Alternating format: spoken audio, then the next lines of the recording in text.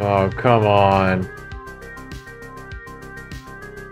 Damn, look at Ted Collins go.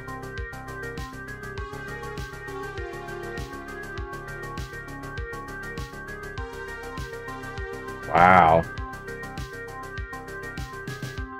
Well, they're giving me a hell of a game over here in Buffalo. New York. Friggin' New York.